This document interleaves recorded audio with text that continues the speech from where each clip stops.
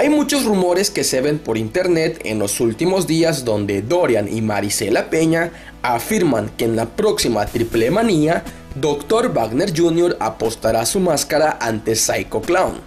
Y sabiendo claramente que la AAA le está dando para arriba a Psycho, muchos ya piensan que Dr. Wagner Jr. se quitará la máscara.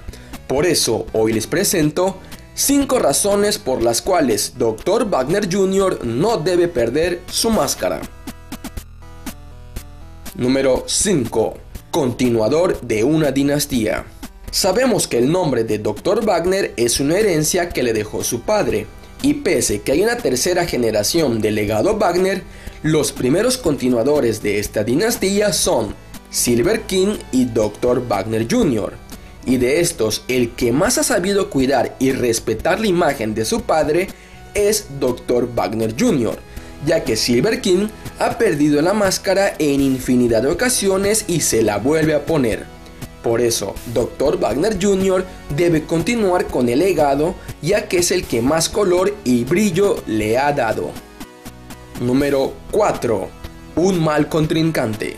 No es por hacer de menos con el que se supone apostar a la máscara que es Psycho Clown, pero la máscara de Dr. Wagner vale mucho más que la de Psycho, ya que este ha tenido muchas luchas en infinidad de empresas y en el ambiente independiente. Se ha enfrentado a lo mejor de la baraja luchística. Tiene proyección sin ayuda de televisión y empresas. Por su parte, Psycho Clown es un producto de AAA. No es dueño de su nombre, sino de la empresa, por lo cual no tiene mucho que perder. No me malinterpreten, no es un mal luchador, simplemente es un producto más de AAA. Y Dr. Wagner es un producto creado por la afición. Número 3. Cuentas pendientes. Dr. Wagner Jr. se ha retado por las máscaras en infinidad de ocasiones con la baraja luchística del Consejo Mundial de Lucha Libre e Independientes, pero donde realmente todos queríamos verlo apostar su máscara es ante L.A. Park.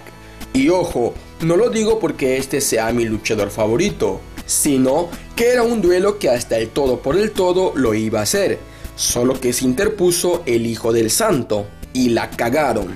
Es la lucha más esperada por los aficionados, y de ser un hecho lo que afirma Marisela Peña y Doren Roldán, tal parece nunca se llevará a cabo. ¿Cuál les gusta más? Psycho Clown contra Dr. Wagner Jr. máscara contra máscara o Elia Park vs. Dr. Wagner Jr. máscara contra máscara. No olvides dejar tu opinión en los comentarios. Número 2. El ganador sería Psycho Clown. En la magnitud de este tipo de duelos, el único ganador sería Psycho Clown, ya que es el nuevo estandarte de AAA. En otras ocasiones ya lo hemos comentado, el último estandarte de AAA que aún está en la empresa es La Parca, y este ya no es rentable. Por eso, el próximo estandarte será Psycho Clown, y con la máscara de Dr. Wagner Jr. quedaría como el mejor luchador de AAA porque no es la cabellera de Pagano ni la de Tejano Jr., que mis respetos para ellos, pero vale más la máscara de Dr. Wagner Jr. Número 1. Máscara representativa de México. La máscara del santo es la que representaba la lucha libre mexicana, pero de unos años atrás para acá, la máscara que caracteriza la tradición de la lucha libre mexicana es la de Dr. Wagner Jr. Y esto no lo digo yo, lo dicen las miles de personas que la utilizan en mundiales, olimpiadas y eventos fuera del país. Desde ver gente disfrazada de chapulines colorados hasta un gran número de gente con la máscara de Dr. Wagner Jr. Y él fue el que modificó la máscara original que era toda blanca, a la máscara multicolor que todos conocemos. Y sobre todo, la más característica, la máscara tricolor con los colores patrios. Si llegara a perder esta máscara representativa de la lucha libre mexicana, sería toda una lástima y una gran pérdida para este deporte. Al fin de cuentas, estas son mis razones muy personales por las cuales creo Dr. Wagner Jr. no debe perder su máscara.